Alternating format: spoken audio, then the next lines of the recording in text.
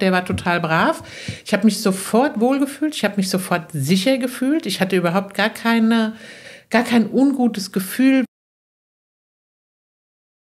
Und wir sind dann sofort losgetrabt. Und wir sind, ich habe nicht lange drauf gesessen, fünf Minuten oder so.